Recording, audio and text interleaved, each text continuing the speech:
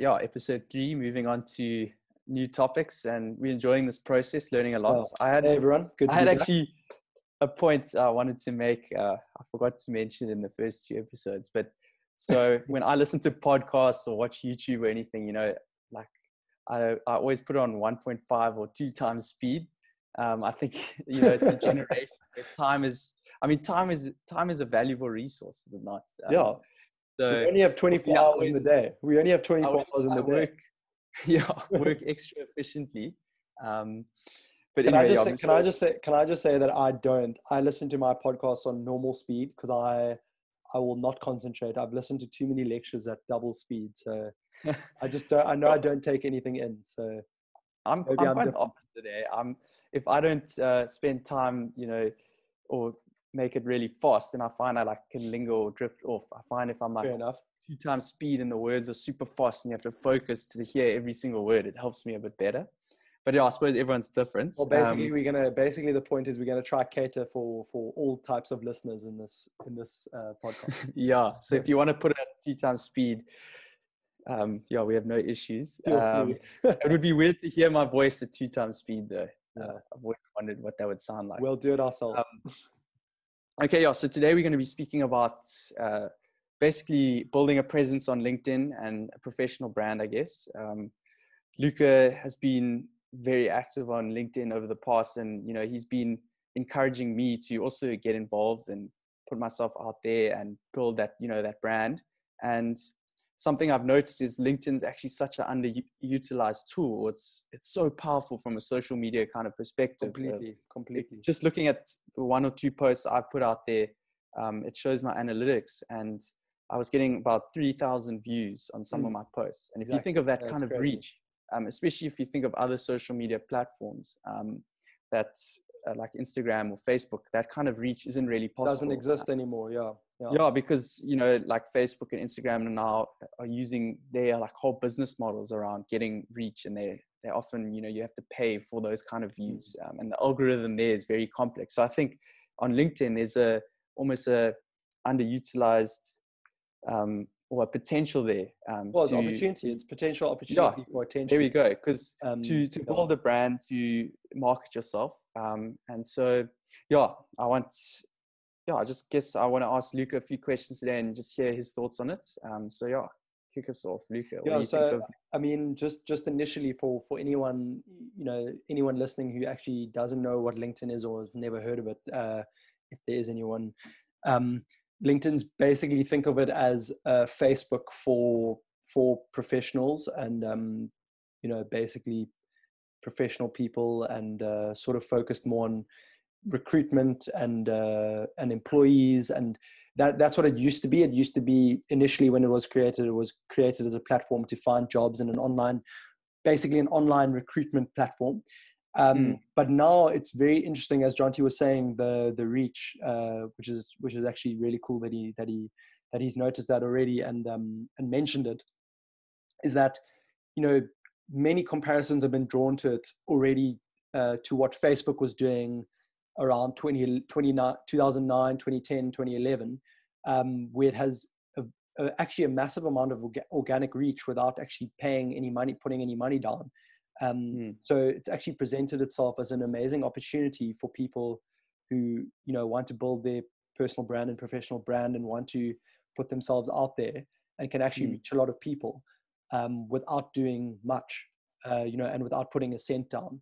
Um, so it's actually become a, an amazing place to for for anyone really to create content. Um, Mm. Now seeing such a move from you know less so to being it focused on like people in finance or accountancy or what whatever. You're now seeing uh, creatives and uh, photographers, uh, Mm. you know, digital content creators, video producers. It, like a lot of there's a space for a lot of people on LinkedIn. Um, and I think I've definitely I've definitely realized that, um, and I've definitely been trying to take take as much of that opportunity as I can. Yeah. Um, it's And amazing. It's an amazing platform. Well, yeah. I mean, we quite in- the process. It's getting there. We're getting there. I don't want to. Yeah, I don't want to but- uh, blow my own trumpet. Yeah, but I mean, yeah, from from my perspective, just looking at you know your posts and your your how active you've been on there, it's been really cool and encouraging. And I think also just sharing some of your thoughts. You know, it's like helped me, like some of the, your Mm. posts and the ways you think, and so I'm sure it's helping a lot of other people, like helping them too. So super cool. And so. you know, That's like I definitely the goal. suppose this this leads into the question. You know, um, you know, as building your career as a young professional. Um, like, how does LinkedIn play that role uh, or play its part in that kind of perspective? Um, uh, I know you've kind of touched on it a little bit, but how Mm. important do you think it is to to get started early on a professional brand? In your, I think it's massive. I think it's massively important, especially when you have a platform such as LinkedIn that's literally designed to do this for people. Um, you know, and I at the end of last year, I, I was, I did actually put out a video on LinkedIn and just saying that there's such a massive opportunity for students, for for young Mm. professionals like us coming onto coming into the working world.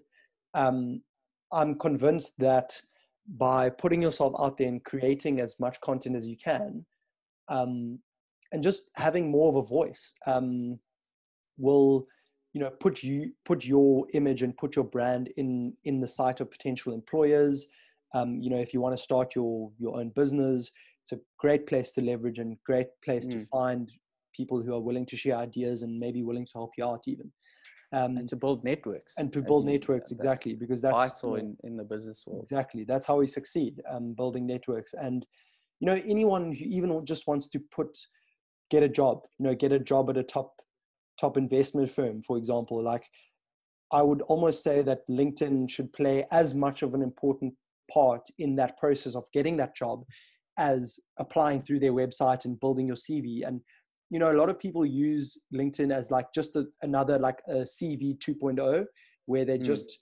put their experience and whatever and try to kit that out as much as possible and then just leave it alone.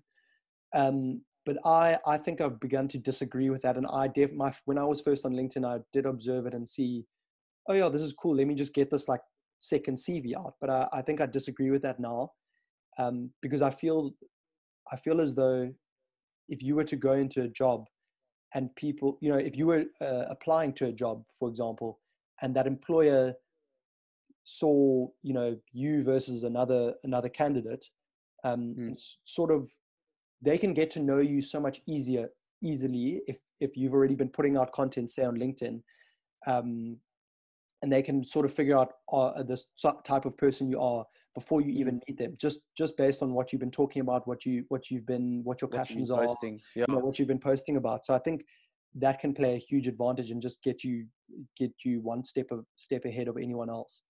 Um, give you that edge exactly, um, if exactly. you need it. Exactly. exactly, exactly. And then you know, obviously, it comes in from the entrepreneurship uh, angle, where if you're trying to start your business, you know, I I, I did it la- uh, last year with with the business I was helping start. Mm. Um, uh, a small, yeah, Conceviche, a small business, small jewelry business in, in Cape Town. What I did was basically, as as one of the owners, I would then post uh, content of my experiences with that business, um, and grace, basically cross populate, cro- Mm. uh, cross post, uh, you know, that that content. Um, you know, so in in the same way that I'm that I'm pushing my personal brand, I'm also pushing the business's brand and trying to get the brand out there utilizing my own Yeah. network. And it's it's it's a, a free form of marketing actually. Exactly, exactly. And I Um, mean, and like like we said, the reach like- is crazy. So yeah, the reach, unbelievable. I mean, Yeah. if you're utilizing that properly, if I mean, three thousand people, what would you pay? I mean, say on Instagram or Facebook for that kind of reach. Um, exactly. And I know, like maybe your target market might not be the same on on um, LinkedIn, but you know, I think now it's growing and a lot more young professionals and people are starting to build a, a presence on that brand. You know, that's potentially while it's still available now and underutilized. I think you know the power of that marketing. Um, exactly, it's quite- exactly, exactly, exactly. I think Um, yeah, and uh, you know, like it's intimidating. It's in, it's intimidating with, you know, people can think of it as as though oh, I'm just putting myself out more out there to get more jobs or whatever. I think it's a it's employment proof. Um, yeah, it's it's a really really useful platform. Um, yeah, and, and, and like you said, with, the, with, with the, the, the the tone of the platform as well, it's just more of a professional place. It's it's Mm, more like a think of it like an office office space. Um, it's like an office conversation basically. whereas Yeah. Instagram's like a casual place, for example. And yeah, I just what I thought like I had this thought um, when we were speaking about this a couple months back, and you know you were saying how you know at first you quite like it can be quite scary to put yourself out there, and um, you know this it's the same thing with this podcast. Me and you like. I suppose it's it, it is a little bit scary putting yourself out there. That people can judge you.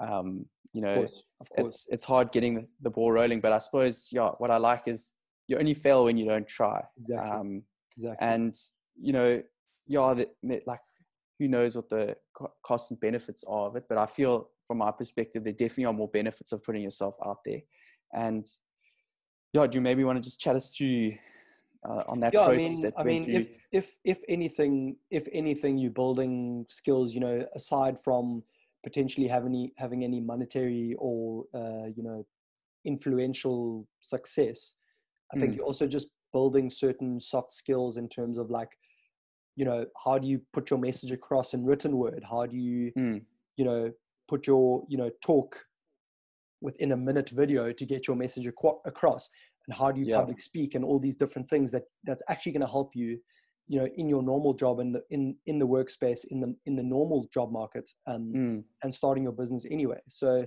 yeah and I think there's- especially you know yeah yeah. like you sorry to interrupt No, no, writing ahead. like writing your posts like you know keeping like your message short and concise or exactly you know, practicing your writing techniques does Exactly. flow. I mean i feel like in this day and age you know i mean it's like it's been a long time since i've had to kind of write those kind of messages um, exactly exactly. And i suppose it's it's a it's a good you can only learn and um, yeah exactly it's it's the various yeah, skills that come from that.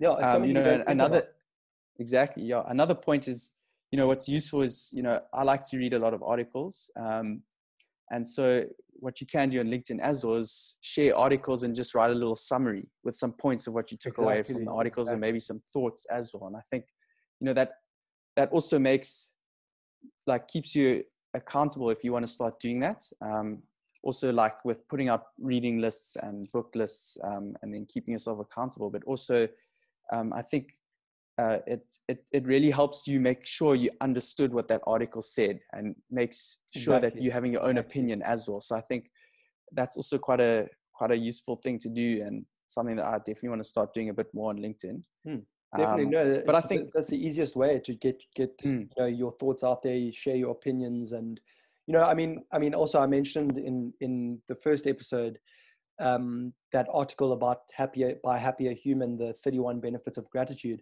You know, I Mm. shared that article when I posted it on LinkedIn as well. This is a great example.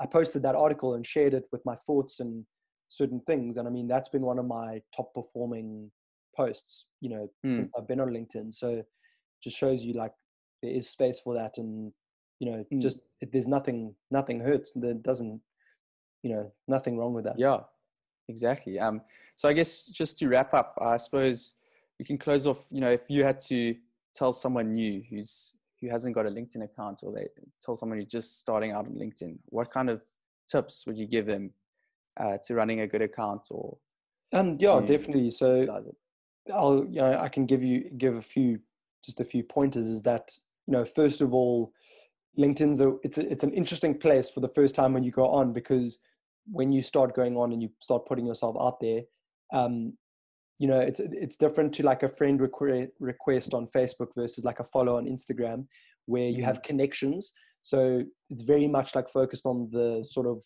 uh, professional network connections stuff like that networking. Um, so you know i would advise people to accept every single uh, connection that comes your way no matter who they are. Um, you know expand your network meet new people. I find that that uh, you know bar one or two people uh, most people are genuine on linkedin. Um, you know uh, people are there for a reason and that's really cool.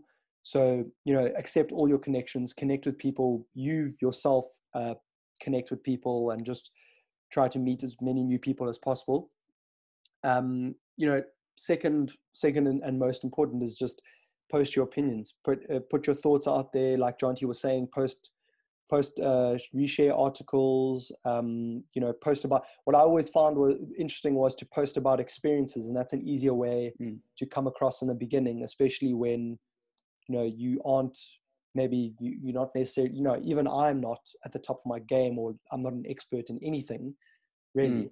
Mm. um, yeah we're just starting I, out. Exactly we're just starting out. We're just starting this whole process. So post your experiences you know if you went to a cool uh, conference uh, tech conference um, an investment conference post about it post your takeaways post your views um, post cool working tips that you've been doing work from home tips um, you know things that you found that keep you more productive mm. um, and i think lastly i would say is you know utilize utilize something like um, linkedin learning uh, you know which is which is an amazing tool for uh, you know for just learning new skills and yeah and i think just focus on collaborating with people as well mm. And, yeah. don't, don't worry about putting yourself out there and messaging different people that you haven't that you never met before and asking for advice and certain things. Yeah and i think also just your on your profile make sure you you stand out you know? Your about paragraph exactly put a unique unique description of yourself. Don't don't make it vanilla or boring you know? 100% yeah. Uh, try yeah. try stand out and show something about yourself who you really are um, exactly, exactly. Yeah, that's an important point I forgot actually. Is the focus on the first thing you should do is actually focus on the profile. Uh, it's quite cool. LinkedIn like gamifies it, so it gives you like different rankings. Um, you know, uh, try get that profile as optimized as possible to like because mm. uh, because the algorithm then pushes your content more if you if it sees your profile is optimized. Um, yeah, fill in as much as you can about that, being as detailed as possible. And like mm. Jonty says, don't be vanilla. you know, everyone's yeah. everyone's unique. Everyone has a different different opinion and uh, you know just just put a bit of spice on your on your about about section and yeah and yeah. i mean it's a fun it's a fun experience. Go have fun on it. And it's really i've really enjoyed it. Really enjoyed putting my myself out there and i'm i'm just now starting to see the fruits of that uh, of that effort. So yeah it's a really rewarding process Hey everyone, before you go, I just wanted to jump in here and say, on behalf of Jonty and myself, thank you so, so much for watching that episode. We really, really appreciate it. If you enjoyed that episode of Mindshift, check out some of our others. They should be around here somewhere on the screen. Also, subscribe to the channel and give this video a like for the YouTube algorithm. If you didn't like it somehow, leave me a comment down below telling me why, and I will do my utmost to make sure you enjoy it the next time. Till the next mind shift, bye for now.